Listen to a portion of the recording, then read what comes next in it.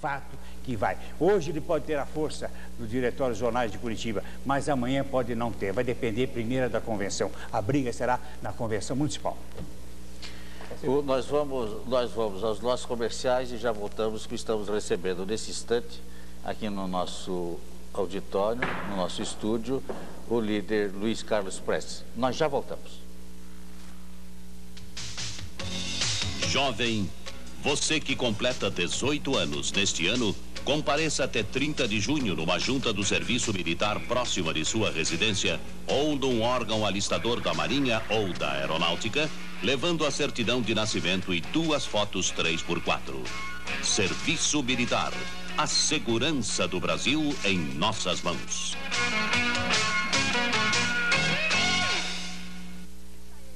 Bandeirantes a caminho da Copa. Nesta quarta, 10 da noite, mais um teste para a nossa seleção. Brasil e Colômbia, ao vivo de Bogotá. O técnico Evaristo Macedo começa a definir sua equipe principal para as eliminatórias. Com essa rapaziada boa de bola e mais os craques que estão na Itália, nosso futebol vai chegar lá. Brasil e Colômbia, direto de Bogotá. Cobertura total com Luciano do Vale, Juarez Soares e Gilson Ribeiro. Nesta quarta, 10 da noite. Bandeirantes.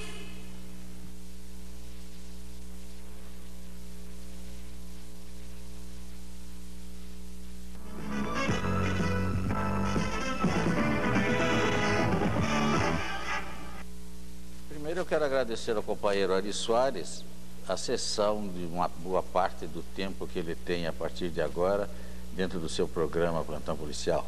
E inclusive a participação dele aqui conosco. Segundo eu quero dizer, segundo eu quero dizer da nossa honra, nossa alegria, nossa satisfação de entrevistar Luiz Carlos Prestes, uma das figuras dessa república que marcam a nossa história, uma das figuras deste país que eu classifico assim, um dos poucos homens autênticos desta nação nos últimos 50 anos.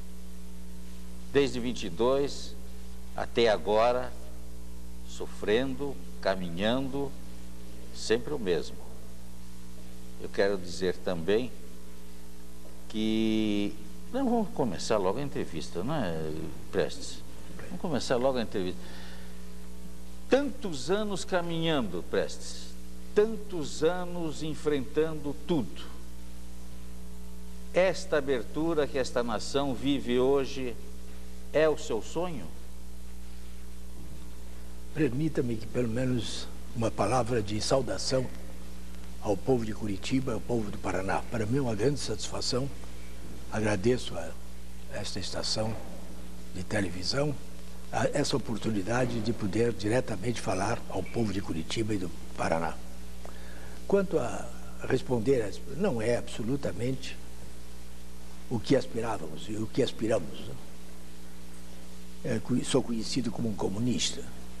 A minha opinião, já firmada em 75, numa conferência dos partidos comunistas da América Latina em Havana, é que o capitalismo já não resolve nenhum grande problema dos nossos países, de toda a América Latina.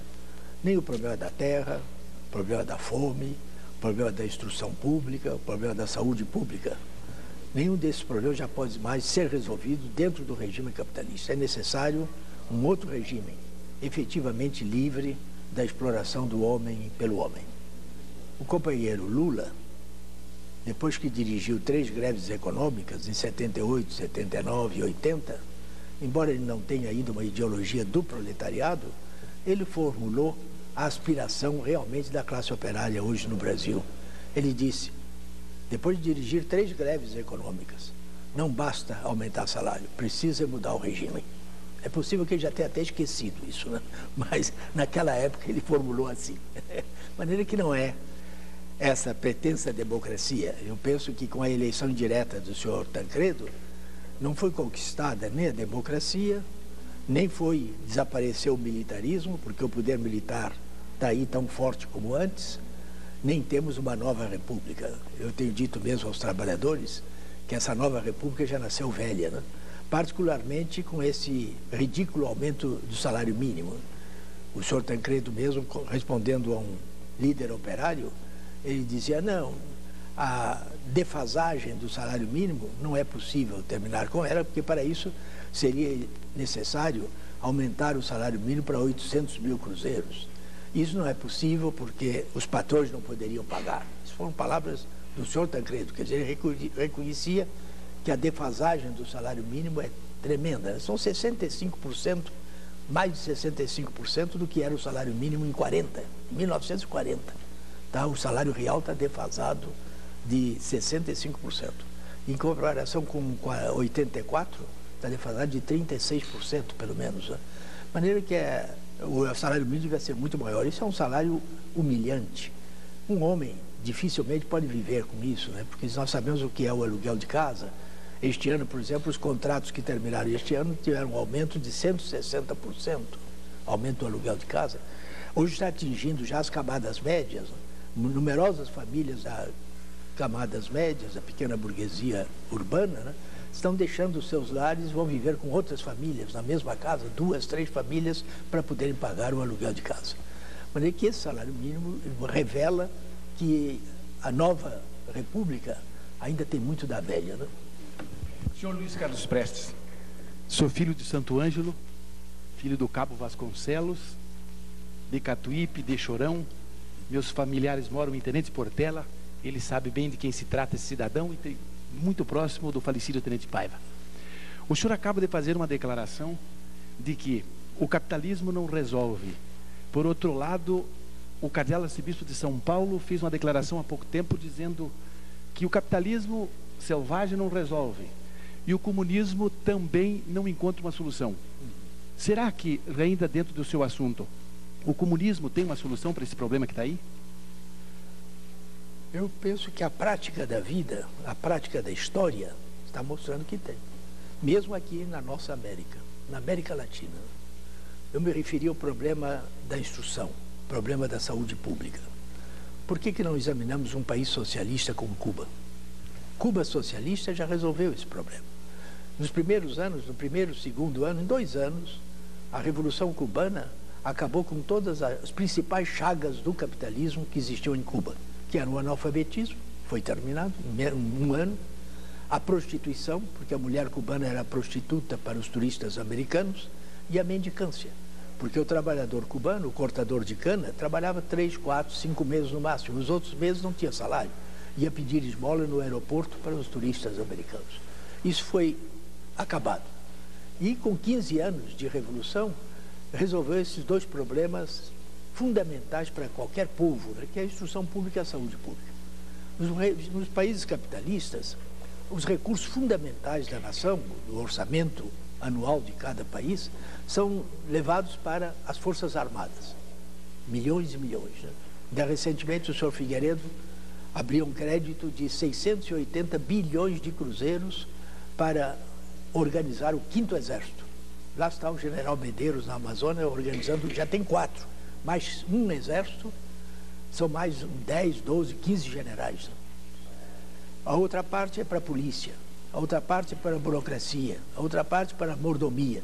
Qual é, qual é o, o que, é que resta para a instrução pública em geral nos países, em toda a América Latina? 3%, 2, 3, 4%. A saúde pública é a mesma coisa. O que acontece? Qual é o resultado disso? Em Cuba, duvido que encontre uma criança entre 7 e 14 anos que não esteja na escola. Está fazendo curso de 9 anos, porque o orçamento estatal para a instrução pública assegura que o governo pode dar, além de comida, roupa, livros, material escolar, é tudo fornecido pelo Estado. Aqui no, no Rio de Janeiro, onde eu vivo, eu conheço numerosas famílias operárias que podem se apoiar na instrução pública, mas os pais não podem comprar os livros estão cada vez mais caros. Material escolar. O próprio fardamento, se tem um pequeno fardamento, também tem dificuldade. Dizer, sem, sem a ajuda do Estado, a criança não pode ir para a escola. Além disso, a maior parte delas, das favelas, da a população mais pobre, né, a criança vai para a escola para comer a merenda, porque sai de casa sem tomar um café preto. Eu vivi na clandestinidade, eu vivi junto a famílias pobres e via com uma criança. E é evidente que uma criança assim tem que repetir dois, três anos, três vezes, quatro vezes o primeiro ano do primário. E não passa do primeiro ano do primário. Porque a população, o povo diz, né? Saco vazio não fica de pé. Em Cuba, a instrução pública está garantida para o povo. Eu, por exemplo, há pouco tempo, fui a Nicarágua, né? passei pelo Panamá. Quando cheguei no aeroporto do Panamá, um bando de crianças me assalta, né? Meninos de 8, 12, 14 anos, né? Todos querendo engraxar meus sapatos. Né? Deviam estar na escola, né? Mas estão engraxando, engraxando sapatos. E quanto à saúde pública, eu dou apenas um dado, né? A, a mortalidade infantil. Porque todas essas doenças que têm aparecido na infância, tudo isso é fome. É, em geral, para crianças pequenas, é fome a mortalidade infantil na capital de São Paulo. Pelo menos em 79, que é o último dado que eu conheço, que é seguro. 97, quer dizer, de mil crianças que nasciam vivas, 97 morriam antes de completar o primeiro ano de vida.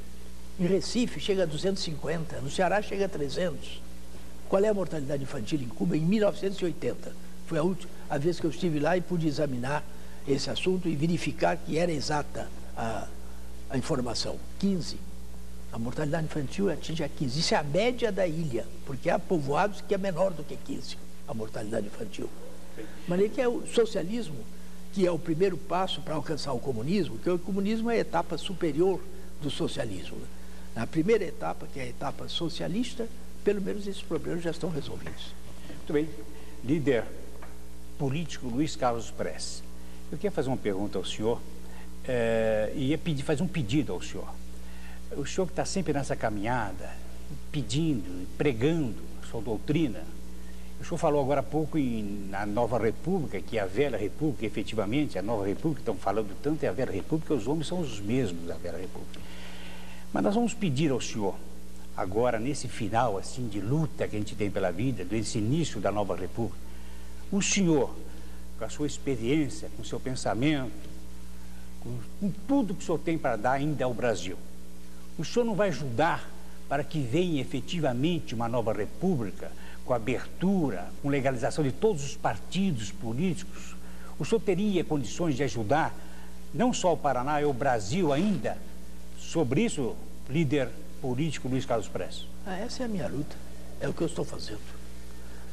Eu hoje estou desligado do Partido Comunista. Desde maio de 79 eu me afastei do Comitê Central porque não concordava com a, a, orientação política por eles adotada. Durante dez anos eu conciliei, na esperança de manter a unidade e ganhar alguns para as posições revolucionárias que eu defendo, o que eu considero posição revolucionária.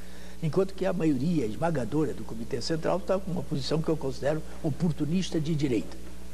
Maneira que, depois de dez anos, já tendo examinado do ponto de vista autocrítico a, o, o último congresso do nosso partido, que foi em 67, eu propus que tomasse uma outra orientação. Negaram, eu então me afastei do Comitê Central. Falei que hoje sou um homem independente, não tenho ligação com nenhum partido, nem burguês, nem, nem partido que se diga de esquerda, que eu acho que não são de esquerda, mas que se dizem de esquerda, que é o PCB, o PCdoB e o MR8, são os três que apoiaram a candidatura do senhor Tancredo à presidência da República pelo colégio eleitoral.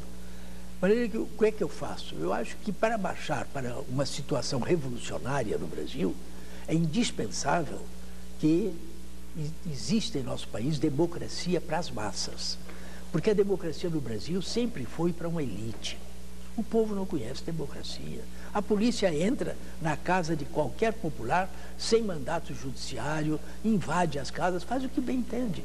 Se me permita, a, no Paraná tá, me permita, no Paraná está acontecendo um fato engraçado. Uhum. Eles estão em greve, os policiais aqui, agora só estão entrando nas casas com mandato judicial. Mas, então, antes disso, quer dizer, pelo menos isso já existe. Né? Continua a greve, eles cumprem a lei. Continuar a greve. maneira que, mas é assim, isso eu vejo lá no, no Rio de Janeiro, em São Paulo, em toda parte, né? O povo nunca conheceu democracia. A democracia é para uma elite. No campo, no interior, é pior ainda, porque não há nem garantia de vida. Né? Porque o camponês, o trabalhador do campo, não tem para quem apelar. O promotor, o delegado de polícia, o juiz, são todos da família do, do fazendeiro, da, do maior proprietário, que tem o monopólio da terra naquela, naquela região. De maneira que essa é a situação concreta em nosso país. Então é necessário a democracia. Muita gente pensa que quando houve a Revolução de 1917 do proletariado russo, que a Rússia é um país tremendamente reacionário. Contrário. Naquele momento, a Rússia era o país mais democrático da Europa, porque havia saído da guerra, já tinha abandonado a guerra, os camponeses, já, os soldados já tinham voltado para o campo, né? e os outros países da Europa ainda estavam em estado de guerra. A Alemanha, a França, a Inglaterra, só cessou esse estado de guerra com o armistício de um ano depois, 1918. O armistício foi em 1918. Mas nem que a Rússia era o país mais democrático, de tal maneira que os bolcheviques, que os delegados, os propagandistas do partido, entravam nos quartéis para falar aos soldados. Imagina quando nós chegamos disso aqui. Porque ainda não estamos muito longe disso, né? Mas é isso que precisamos, democracia para o povo. E eu estou lutando é por isso. Agora, por exemplo, eu falo muito, fundar um Aí partido. teremos a nova república de fato. É, aí sim, porque será o povo demo- democrático, a classe operária, no dia que ela conquistar um mínimo de democracia, a primeira coisa que ela acaba com esse salário mínimo de fome. A segunda é essa estrutura sindical, de subordinação do movimento sindical ao Estado, ao, ao Ministério do Trabalho. Né? Então, nessa situação, ela já pode chamar os seus aliados fundamentais, porque a classe operária sozinha não faz a revolução a Revolução Socialista. Ela precisa ter apoio das massas. E os aliados fundamentais são o camponês e a pequena burguesia urbana. E formam, então, o bloco revolucionário, anti-latifundiário, que são os nossos inimigos. Né? Acabar com o latifúndio, acabar com o monopólio da terra. Anti-imperialista, que é a pressão externa, a submissão ao imperialismo. E antimonopolista, porque os monopólios estão in- incrustados na economia brasileira. Então vai, vai ser uma revolução que já golpeia o, o monopólio, porque nacionaliza o monopólio, que nacionaliza a terra, que tira a terra do, do latifundiário, né? e que tem uma posição independente frente ao imperialismo. Esse governo ainda não é socialista propriamente, mas já não é capitalista, porque golpeou o capitalismo no que ele tem de essencial, que é o monopólio, né? e abre caminho para o socialismo. É- essa é a estratégia, e é para isso que eu estou, o meu trabalho, utilizando a única arma que eu disponho, que é a voz, que é a garganta, porque eu não tenho um, um jornal, não tenho um órgão de imprensa. Muitas vezes, algumas, algumas TVs já me convidaram. Eu, há pouco tempo, pela primeira vez, eu falei num canal nacional, que foi na Manchete, né? uma entrevista que eu dei à Manchete. Agradeço ao senhor Bloch, que com todo o seu anticomunismo, todo o seu antissovietismo, me permitiu que eu falasse na TV. Né? De maneira que eu estou nesta, nessa obra, usando essa arma única que disponho, colocando um tijolo numa coisa do futuro. Eu já estou muito idoso, é possível que eu não alcance esse futuro. Mas o meu tijolinho está sendo colocado nessa obra que, que virá. Senhor Luiz Carlos Prestes, antes de mais nada, a minha admiração ao Prestes, líder da coluna Prestes 22, e também ao Prestes, homem político, tem sido coerente e tem sofrido na carne realmente a coerência pelas suas ideias. Agora, evidentemente, política e filosoficamente, eu discordo dessas ideias. Uma delas, em princípio, é quando o senhor apresenta Cuba como um exemplo de um país socialista que realmente resolveu os problemas da humanidade. Eu sou cristão, então, para nós cristãos, o homem não é apenas uma peça do sistema de produção. O homem é composto do corpo físico e do corpo espiritual. E realmente os regimes marxistas sequer resolveram os problemas econômicos fundamentais do homem e tampouco renegam e sempre renegaram os problemas espirituais. Nós acreditamos, por exemplo, no pluralismo partidário, na democracia burguesa com a liberdade de ir e vir. Nós não aceitamos absolutamente o muro de Berlim, nós não aceitamos os gulags. Eu perguntaria ao senhor, o senhor acredita realmente que o comunismo hoje, ou o socialismo que é praticado hoje na União Soviética, nos países socialistas, é aquele socialismo, é aquele comunismo que o senhor idealizou, que o senhor imaginou? Eu lhe respondo da seguinte maneira: eu não idealizei nenhum socialismo. Marx, eu perguntava a Marx, o que vai ser o socialismo? Ele dizia, não sei, não posso dizer. O mal do intelectual brasileiro é esse, é que ele idealiza um socialismo, um socialismo tirado da cachola dele. E como esse socialismo não coincide com o socialismo real, ele então combate o socialismo real. O socialismo real surgiu de um país capitalista, né? E não se muda a sociedade da noite para o dia. A cabeça dos homens é a última coisa que muda. Na União Soviética mudou a estrutura social. Quanto à liberdade, a democracia soviética é muito mais forte, muito mais democrática do que de qualquer país capitalista. A eleição na União Soviética, eu vou, permita terminar. A eleição na União Soviética, dizem que não há eleição. O voto não é obrigatório. mas o povo vai votar. Por quê? Porque quem escolhe os candidatos não é essa camisa de força que são os partidos políticos. Quem é que escolhe candidatos e faz a lista de candidatos numa eleição democrática num país burguês? É a direção do partido. Sim, eles é que escolhem os candidatos e, e levam para a convenção e são, são aprovados. Esse, essa lista tem alguma coisa a ver com a composição social? Porque na composição social, né, o número de operários, de trabalhadores é muito maior do que de capitalistas. Mas a lista é toda de capitalistas, não é, não é de operários. Nesse parlamento nosso que está aí, quantos operários existem lá? Quatro. São quatro operários que estão na, no parlamento. Compreende? Quer dizer, então, isso é uma, na União Soviética, quem escolhe os candidatos são as organizações de massa. O país está dividido em distritos eleitorais, de mais ou menos 100 mil votos cada um. E nesses distritos reúnem-se os sindicatos, as organizações de mulheres, de jovens, as diversas organizações populares e escolhem os candidatos. E cada eleitor, fazem a lista de candidatos, cada eleitor tem direito de riscar o nome que se quiser, se quiser de toda a lista e substituir por outros. Compreende? É isso. Então é muito mais democrático do que a eleição aqui no Brasil e comparecem às urnas, sem o voto ser, sem deixar de ser obrigatório, comparecem 99 e tanto por cento. Por quê? Porque essas organizações mobilizam massas, levam as, as, as, urnas, porque elas também têm o direito de todo aquele parlamentar, todo aquele eleito que não cumprir o programa com que foi eleito, vai ser substituído imediatamente pelas organizações de mata por outro. Perde o mandato, perde o seu mandato. Isso é falta de liberdade? Se isso é falta de liberdade, eu não sei. Agora, liberdade de imprensa é total. Há toda a liberdade de imprensa. O que pegam são jornais como a Pravda ou a Desvestia. A Pravda é um órgão do partido. A Esvestia é um órgão do Estado. Os verdadeiros jornais estão nas pequenas, nas cidades, nas fábricas. Não há uma instituição soviética que não tenha um jornal que é profundamente crítico. Eu nunca vi, numa sociedade capitalista, um operário poder falar com o diretor da fábrica como fala o operário soviético. Por quê? Porque o diretor da fábrica é um operário como ele.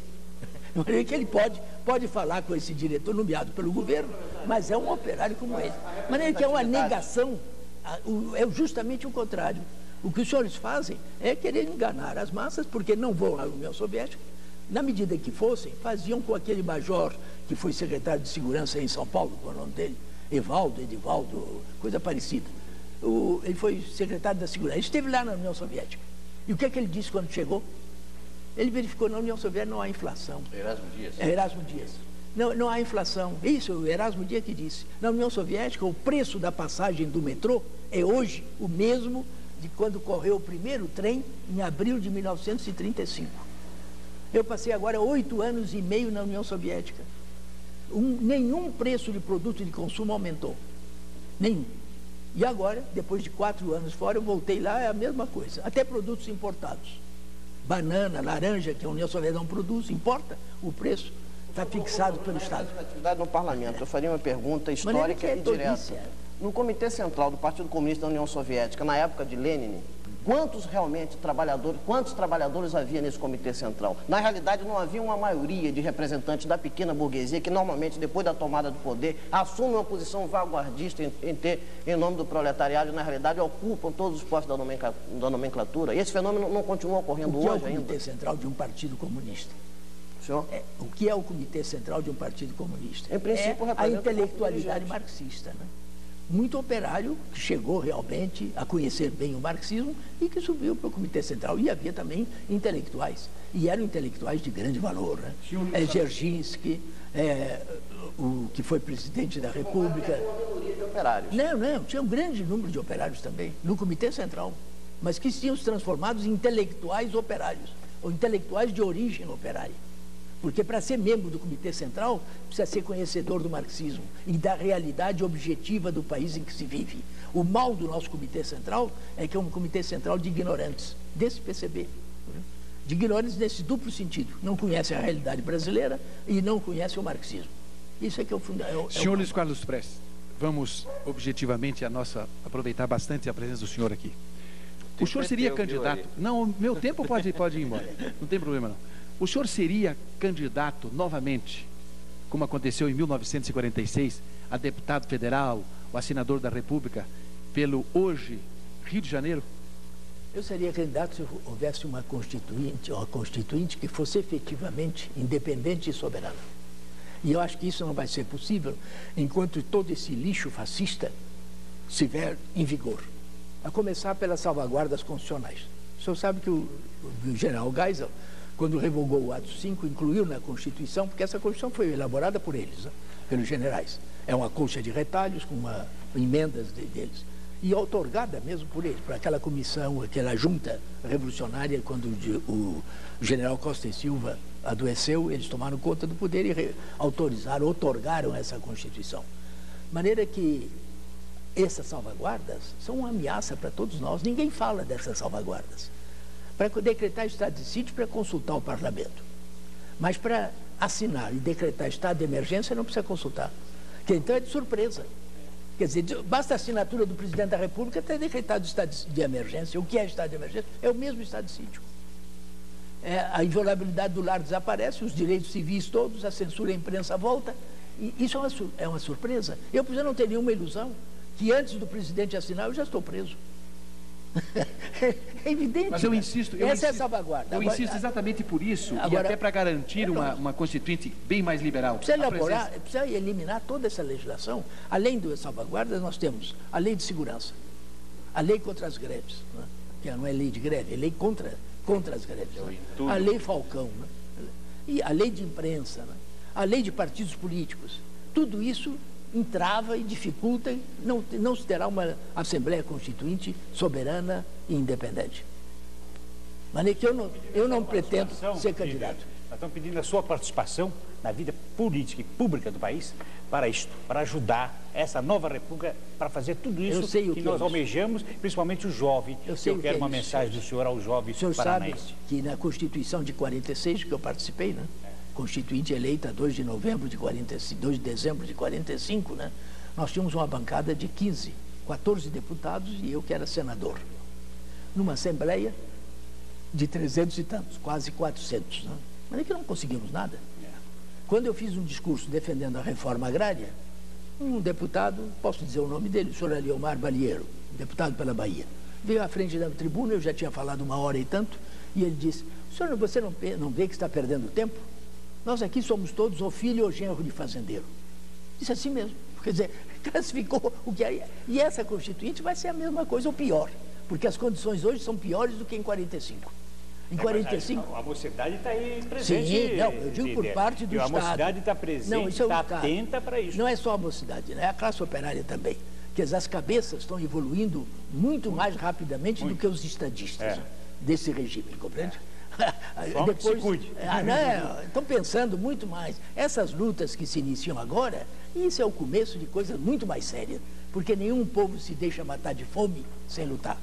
E o nosso povo vai lutar. É permitido agora a organização de todas as correntes políticas. O senhor defende realmente aquela condição que os comunistas devem assumir a sua postura, a sua posição e lutar defendendo as ideias marxistas-leninistas publicamente, abertamente, ou que eles devem continuar no processo de militância dupla em outros partidos? E o que é que eu estou fazendo aqui? Não é defender justamente isso? As ideias comunistas? Eu acho que Não pretende aceitar a legalidade dos partidos, ter continuar algum... partidos. Agora, esses partidos, nenhum deles defende a solução comunista. Eles são todos partidos que estão a reboque da burguesia. Todos eles apoiaram cegamente a candidatura de Tancredo, eleito por um, por um colégio eleitoral que é uma instituição espúria e ilegítima, como disse o senhor Ulisses Guimarães, né? e que depois foi aceitar esse, esse mesmo, essa mesma instituição. né? Bastou a primeira derrota, né? quando aquela emenda do Isso deputado aqui, Dante de Oliveira, aqui. é, o deputado Dante de Oliveira foi derrotada, eles, logo os liberais brasileiros deram as costas ao povo e foram conciliar com a ditadura. O único partido que continuou lutando pela eleição direta foi o PT do, do Lula. Foi o único que continuou lutando. Mas, mas os outros todos deram as costas ao povo e foram conciliar e depois foram participar do colégio eleitoral. E querem impingir para o povo que essa eleição trouxe democracia, acabou com o militarismo e trouxe uma república nova. Tudo isso é mentira. Tudo isso é mentira. Quer dizer, não há nem democracia, nem o, o militarismo terminou, porque o poder militar está aí, é o mesmo. Qual foi o general que foi afastado? Nenhum. Afastou-se espontaneamente o general Newton, aquele Cruz, que o povo lá diz Cruz Credo, né? Porque foi o homem lá do, da, de Brasília. É candidato agora. É candidato agora, é deputado federal. Né? Maneira que. Mas o poder militar está aí, senhores. Quem governa o Brasil de 64 para cá é o poder militar. É a única força organizada no Brasil. Que tem quatro exércitos, está organizando o quinto, tem marinha, tem aeronáutica, tem paraquedista, tem polícia militar. Eles tutelam os poderes do Estado.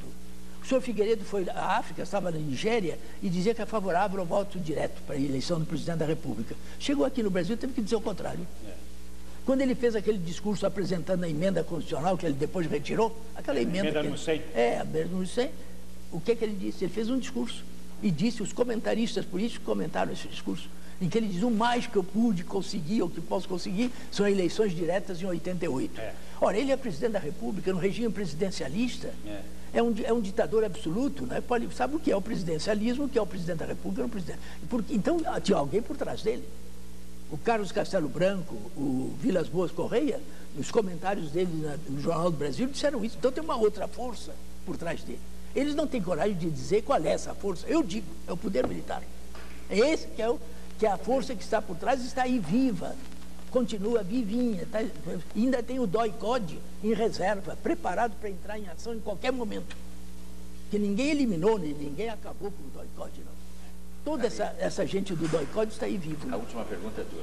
Eu gostaria de saber do senhor Luiz Carlos Prestes, diante de todo esse entulho que a gente sabe, aliás, eu acredito que o senhor não tenha dito sequer mencionado uma coisa que não seja não tenha acontecido e que não seja verdadeira. Todos nós, jovens ou velhos, somos testemunhas disso aí. Eu gostaria de saber se com esta princípio, esse princípio de abertura, é, a oportunidade em que as esquerdas vão ter para estruturar as suas organizações políticas, se o senhor vê, eu volto na mesma pergunta, se o senhor vê possibilidade de estruturar é, um Estado socialista, como disse o senhor, a caminho do comunismo. Não, atualmente não há uma situação revolucionária, não há um mínimo de democracia para as massas. Sem isso não pode haver uma, uma situação revolucionária. A situação é revolucionária quando a democracia já alcançou as grandes massas e elas podem atuar com uma certa relativa liberdade. Mas isso não há essa situação aqui no Brasil, está muito longe disso ainda. Né?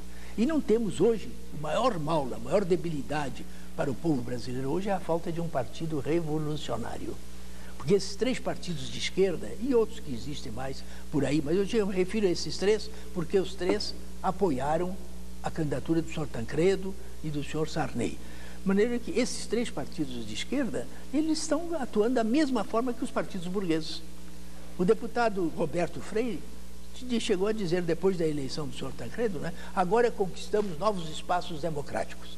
Então, agora, o essencial é não permitir nenhum retrocesso. Para isso, é apoiar o governo de olhos fechados. É, ficar, fazer qualquer pessoa que queira fazer qualquer coisa contra o governo, eles chamam de golpista. É logo golpista, está ameaçando a estabilidade do governo. Quer dizer, então estão a reboque do governo, a reboque da burguesia. Isso chama-se traição à classe operária. Isso a mim não é nenhuma surpresa, porque a experiência histórica do movimento comunista internacional mostra que o oportunismo de direita, se não é contido, se não é barrado, ele leva a três consequências nefastas. A primeira é traição à classe operária. A segunda é entendimentos espúrios com a reação. Todos eles estão se empregando. Cada qual está conseguindo é emprego. Não sei se os senhores leram um artigo do Paulo Francis na Folha de São Paulo, em que ele diz isso justamente. Cada qual está tratando de ele conseguir emprego. E depois leva ao antissovietismo porque eles são contra a Revolução, a União Soviética é o centro da Revolução Mundial, eles vão acabar se chocando com a União Soviética. Por mais que eles digam que são amigos da União Soviética, eles vão acabar no antissovietismo. Prestes, infelizmente, chegamos ao final, mas eu gostaria ainda de lhe dar um minuto para uma mensagem sua a quem nos ouve. Bem, eu agradeço muito, quero saudar o povo do Paraná e desejar que realmente consiga se organizar o mais possível, porque depende da organização o avanço do processo político em nosso país. Né? O mal maior desses 21 anos foi justamente essa falta de organização dos trabalhadores. Né? Quer dizer, a organização é a única arma do trabalhador. A organização traz o debate. O debate de ideias esclarece as mentes. Né? Esse processo avançará rapidamente. A classe operária no Brasil tem um grande papel a exercer com seus aliados fundamentais, a que eu já me, me referi, né, para realmente poder fazer a revolução. Luiz Carlos Prestes, foi um prazer e uma honra, como eu disse no início, tê-lo aqui nesse programa. Eu entendo que democracia em qualquer país só se conquista com debate livre, a troca de ideias, o diálogo franco e, acima de tudo, muita honestidade de princípios, de ações. E todos participando. Mais uma vez, muito obrigado. Foi um prazer tê-lo aqui conosco. Os entrevistados de amanhã do programa O Repórter serão o presidente, o candidato à presidência do PMDB jovem Luiz Bonaturra e o ex-senador Leite Chaves. Na sequência, o informe agroeconômico e logo após em seguida o tempo que o Ari precisar para dizer alguma coisa sobre o plantão policial dele. E mais uma vez agradecendo ao Ari a bondade que você teve da sessão deste horário para que fizéssemos tão importante entrevista aqui no Canal 6 TV Paraná.